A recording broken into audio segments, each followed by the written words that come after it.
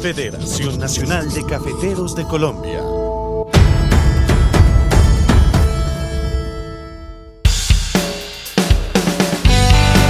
Entonces, ¿cómo les parece que me vine para el municipio de la Argentina, departamento del Huila?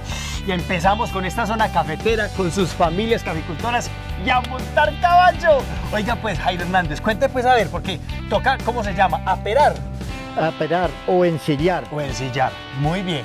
Y entonces, ¿con qué vamos a ensillar o aperar la bestia? Primero se inicia poniéndole la jáquima. Ya la tenemos puesta. Eso. Segundo, se inicia poniéndole el freno. Venga, yo, yo, yo hago de parafrenero aquí entonces. Ah, bueno, muy bien. Parafrenero, y vamos Correcto. aprendiendo los términos. Esta se llama cabezada, esta se llama el freno y esta se llama las riendas.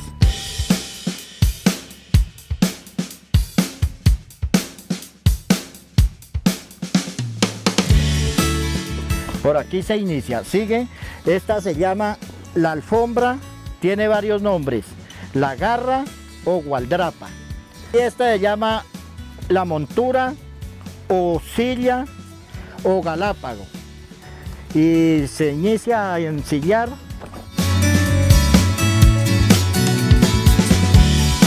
Siempre debe de ser por el lado derecho del, del animal. Esta se llama la cincha. ¿Y ese qué función tiene? Sostener el apero, asegurarlo, Listo. para uno estar un poco más seguro. ¿Qué dicen? Profesor Yarumo, ¿sabrá montar caballo? A mí no les muestro.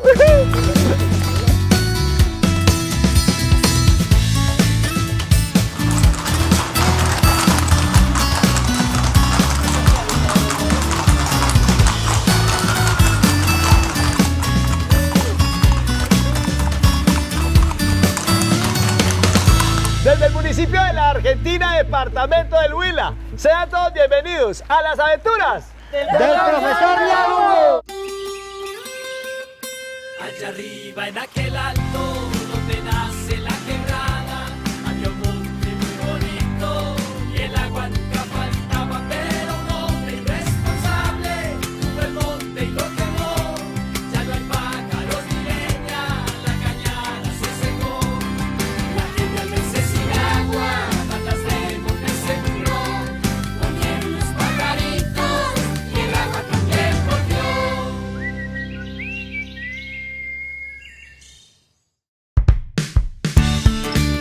como ya sabrán, una de mis grandes pasiones, las cabalgatas.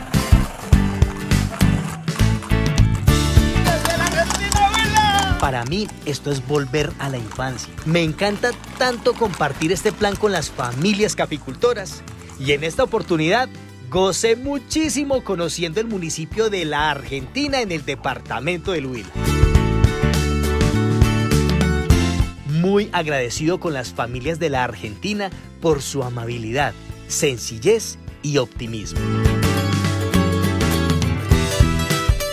La Argentina está ubicado al suroccidente del Huila, sobre la serranía de las minas, a orillas del río La Plata. Y es muy reconocida como la antigua capital minera de Colombia. Sigamos conociendo nuestros pueblos del café.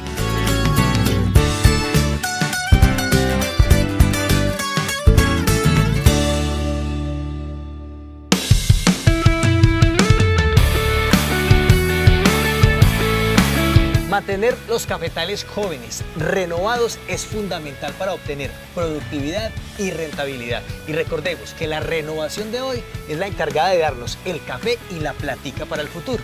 Pero ¿cómo aprovechar esa época en la cual el cafetal está renovado? ¿Qué beneficio nos puede dar?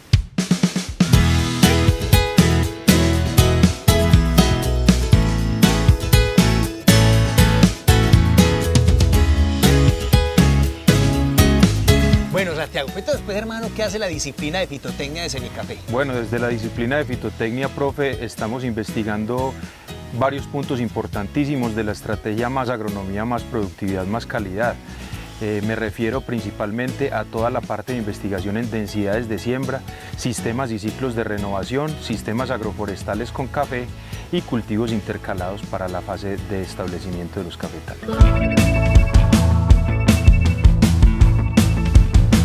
Cafetal entre más viejo, pues porque recordemos que el cultivo del café da el café de abajo hacia arriba, de adentro hacia afuera, y la planta va creciendo. Los dos sistemas más usados en Colombia para la renovación de cafetales es por soca tradicional o por siembra.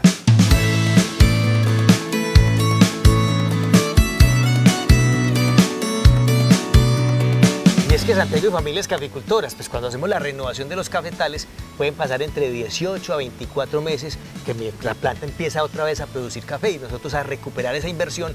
Y en ese tiempo de 18 a 24 meses, dependiendo de las circunstancias, pues entonces estamos metiendo de platica, pero pues no estamos obteniendo rentabilidad.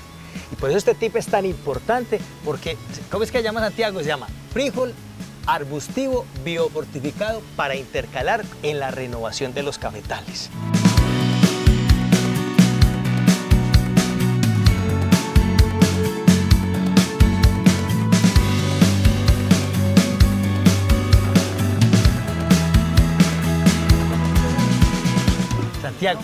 El frijol. El frijol se consume en todo Colombia, ¿sí o no? El frijol, profe, es uno de los alimentos más importantes para la alimentación de las familias cafeteras y para las fincas cafeteras en general. Y es por eso que es tan importante para la seguridad alimentaria y nutricional de todas las familias caficultoras colombianas. Pero ese frijol que consumimos en Colombia, ¿será Santiago que se produce todo aquí en el país o será que se importa de otra parte? Profe, lastimosamente no tenemos todo el abastecimiento de la, de la producción nacional. Eh, Colombia actualmente está importando aproximadamente el 38% de las necesidades de frijol de países como Argentina, Canadá y Estados Unidos. Eso nos representa una gran oportunidad para mejorar nuestra soberanía alimentaria produciendo un frijol de alta calidad nutricional aquí en las condiciones del país. Porque Santiago, digamos que desde la parte de frijol, pues aquí normalmente se ha, se ha cultivado el mismo frijol hace mucho tiempo en la renovación de los cafetales. Precisamente ese es uno de los puntos que nosotros tuvimos en cuenta antes de emprender este tipo de investigaciones con frijoles biofortificados, es decir, que tienen mayor contenido de hierro y zinc que las variedades convencionales.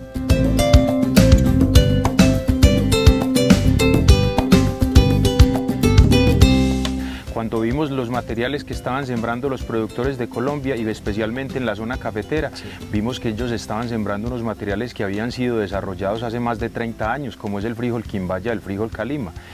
Esa dificultad para conseguir nuevos materiales con mayor potencial de rendimiento había hecho que la productividad del frijol en el sistema intercalado fuera muy bajo, lo que nos llevó a replantear toda la estrategia siguiendo los preceptos de más agronomía, más productividad, más calidad, para poner en las manos de los caficultores el mejor material posible que les permita ser competitivos en esta etapa improductiva del café.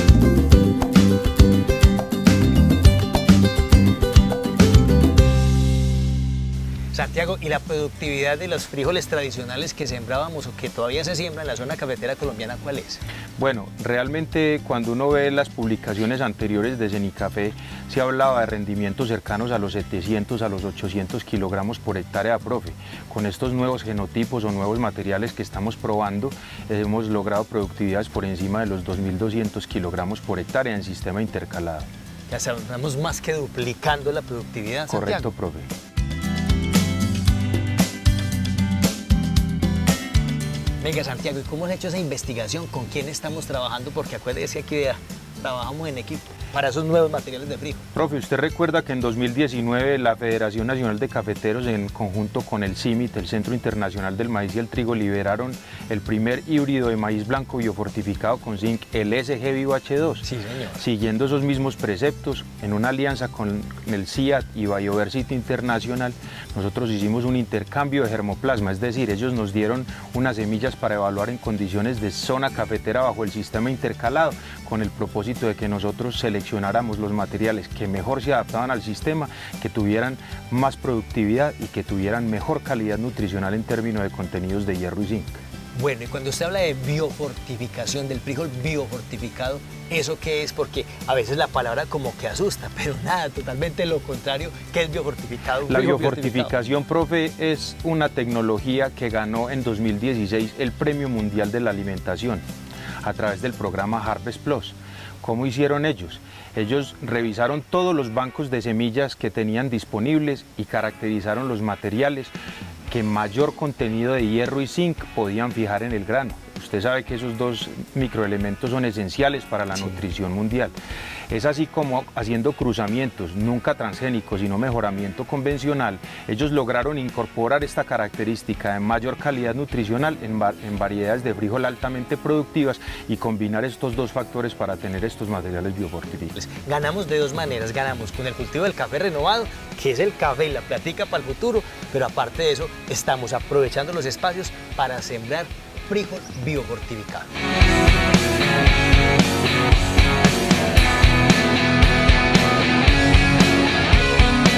Pero cuando hablamos de frijol biofortificado, pues puede que uno se asuste Santiago y diga, no, eso debe ser un gallo cultivar eso, tiene mucha tecnología. Pero igual que la estrategia más agronomía, más productividad en el cultivo del café, ¿qué pasa en el cultivo del frijol? Profe, nosotros aplicamos los mismos conceptos de más agronomía, más productividad para el intercalado como para el café. Nosotros tenemos muy claro que haciendo ocho prácticas fundamentales para el manejo de los cultivos intercalados, nosotros podemos garantizar una alta productividad y una alta calidad de la cosecha. Hablemos que factores como la fecha de siembra, el tratamiento de semillas, los arreglos espaciales, las poblaciones que manejamos en, el sistema intercalado, que son cercanas entre los 130 mil a las 160 mil plantas por hectárea, una fertilización oportuna, un manejo integrado de plagas y enfermedades y de arbences, nosotros podemos obtener esas productividades de más de 2.000 kilos por hectárea, que son productividades altamente competitivas para el sistema intercalado. Pero Santiago, yo honestamente la diferencia entre más agronomía, más productividad del café y del frijol, pues son los mismos principios, ¿sí o no? Es algo muy importante, profe, entender que el manejo de los cultivos se tiene que hacer de manera independiente.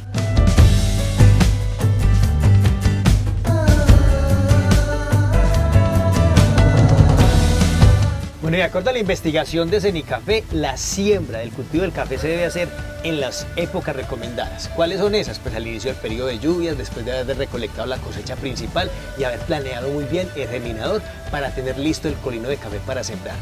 Épocas recomendadas para la siembra del café. ¿Cómo es para el frijol? Teniendo en cuenta los requerimientos hídricos del frijol, que prácticamente la mayor demanda hídrica de este cultivo es durante los primeros 45 días, nosotros podemos cuadrar para que en- al- a mediados del inicio de la temporada lluviosa, para garantizar entre 45 a 50 días de buena humedad en el frijol, es perfecto. ¿Por qué? Porque una vez ocurre la floración, ya vamos a coincidir con un periodo de alta radiación solar, que es posiblemente el factor que más nos va a contribuir a obtener altos rendimientos en el cultivo de frijol intercalado con café. Es el tema como de la fotosíntesis para que llene esos granos de frijol, al igual que el cultivo del café. Exactamente, profe.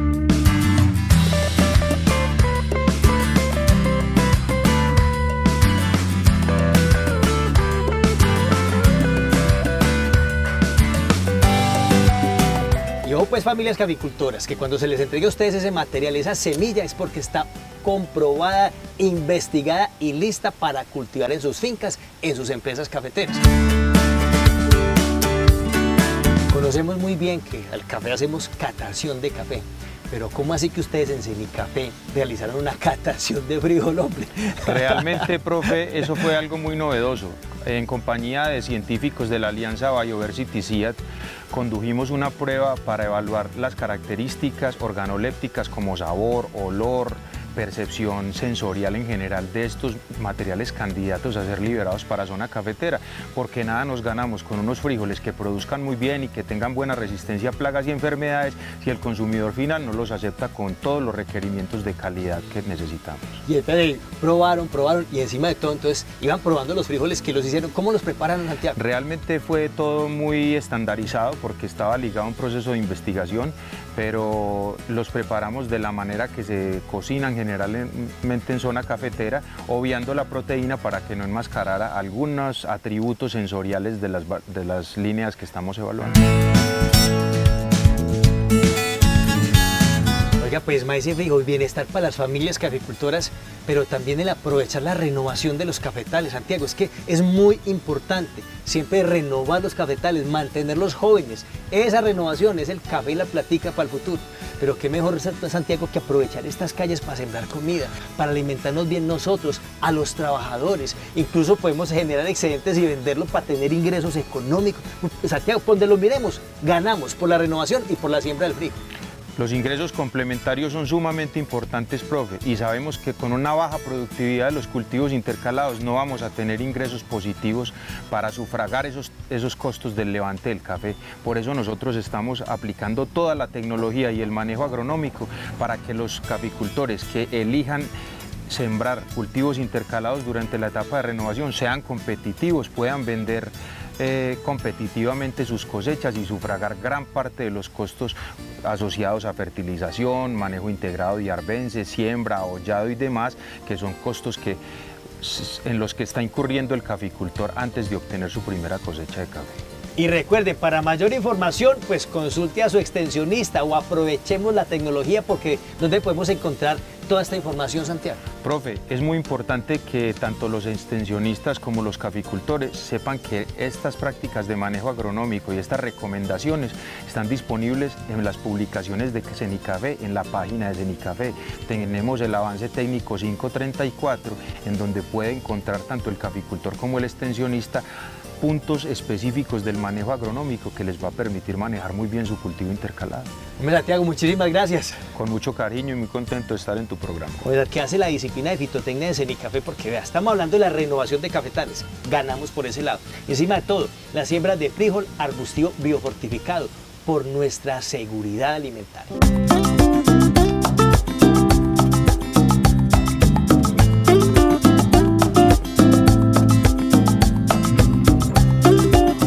Seguimos recorriendo el municipio de la Argentina en el departamento del Huila, donde conoceremos una historia de vida marcada por el amor al café, la búsqueda del valor agregado y la innovación al servicio de la comunidad. Cuéntenos un poco de su familia. Bueno, pues mi familia, por parte de papá y mamá, venimos de generaciones cafeteras hasta donde logré averiguar. Eh, llevamos la cuarta generación conmigo. Y pues ahorita digamos que de mi padre que viene trabajando con el café de hace toda la vida, entonces pues nací yo en esta finca cafetera y he seguido ese ritmo de la caficultura con ganas de emprender cada día mucho más.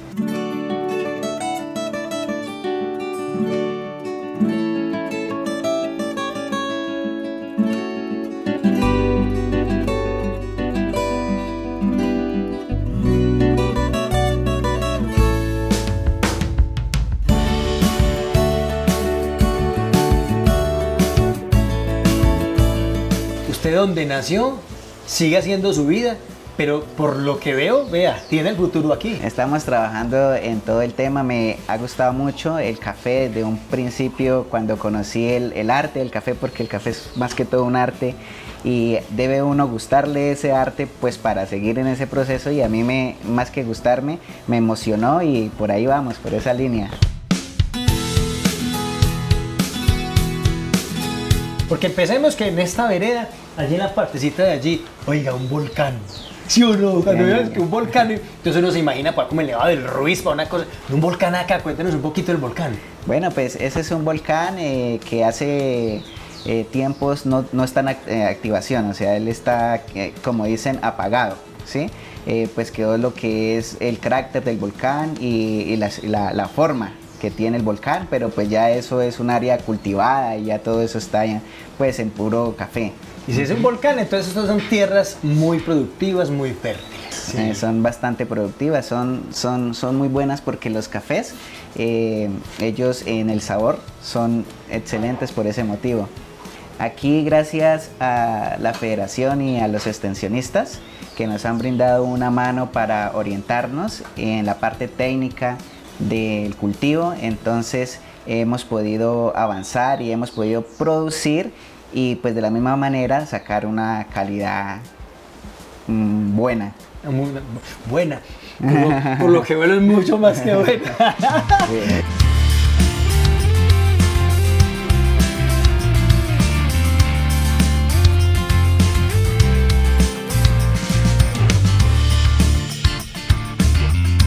encima de todo, ustedes son muy juiciosos con el beneficio del café. Exactamente, aquí tratamos de tener la mayor inocuidad en cada uno de los procesos de beneficio que se realizan para que todo eso se vea reflejado en un punto final, que es al consumirlo que sea agradable al paladar.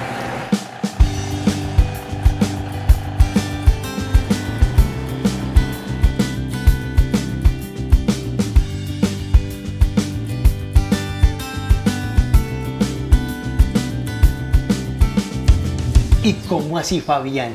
Esa visión de ustedes de montar una tienda de café aquí mismo, en su finca, en el lugar que lo vieron hacer.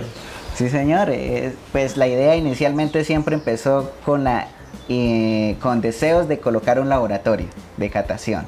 Pues porque queríamos mejorar en todo el tema con el café. Y después de tener el laboratorio, pues dijimos qué mejor que tener la tienda para que aquí mismo nos lo consumamos entre, entre nosotros.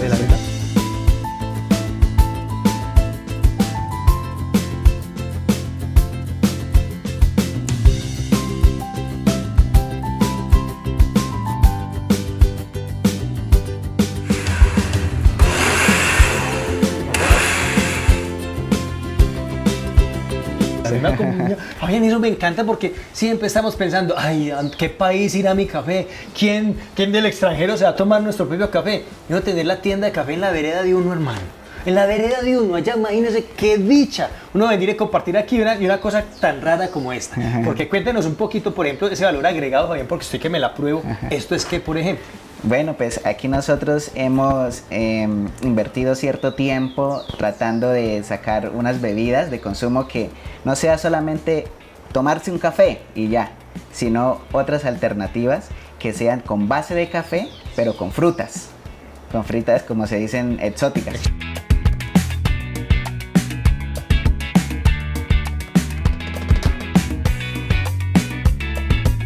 Entonces lo que hemos hecho es una combinación entre el café y las frutas para dar ese sabor a una malteada.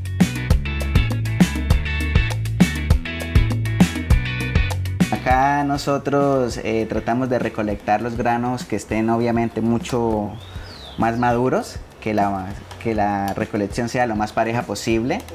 Luego después pasa a un proceso de fermentación y despulpado, lavado y nuevamente una otra fermentación. Ya pues pasa lo que es el tema del secado, eh, donde se revisa que el secado sea lo más homogéneo posible, lo más parejo posible.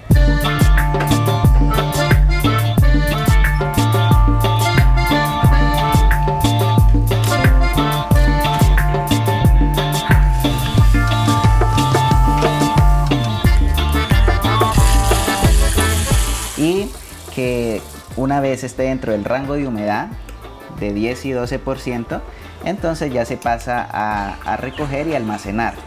Eh, con unos 8 días de almacenamiento se pasa a probar en el laboratorio de catación y entonces identificamos diferentes tipos de, de sabores en una taza y hacemos una mezcla con esos tipos de sabores para potencializar aún más la bebida de café.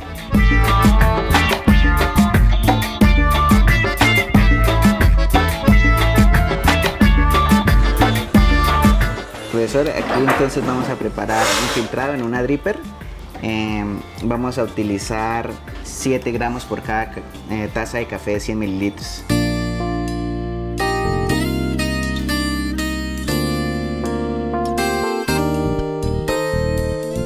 hay que producir el mejor café del mundo y consumir el mejor café del mundo y sobre todo ideas tan innovadoras de nuestros jóvenes. Si ven, es que aquí hay futuro.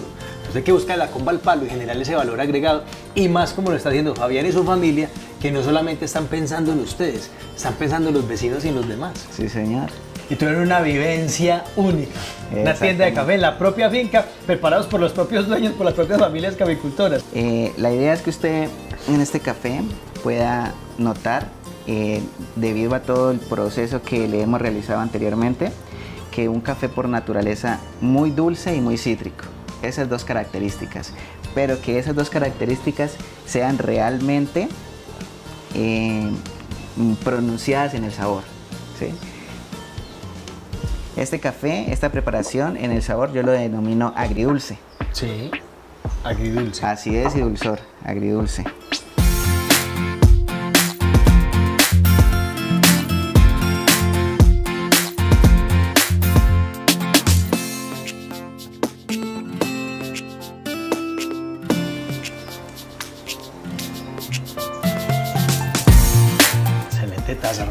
Resalta la Uf, acidez. Ave María. Ahí tuve un choque térmico entre lo frío y lo caliente. Claro, De verdad, Fabián. Felicitaciones. Muchas gracias, hermano, por, por compartirnos esta historia. Lo que usted, usted como joven, usted ve el futuro en el café. Muchas gracias, profesor. Sí, el, el futuro es, eh, para mí está en el café.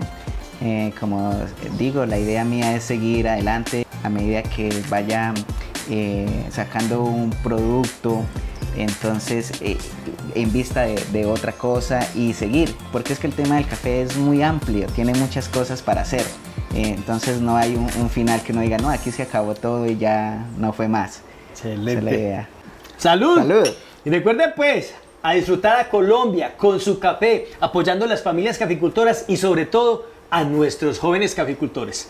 Nos vemos en la próxima, aquí en Las Aventuras. Del profesor Yarumo. Federación Nacional de Cafeteros de Colombia.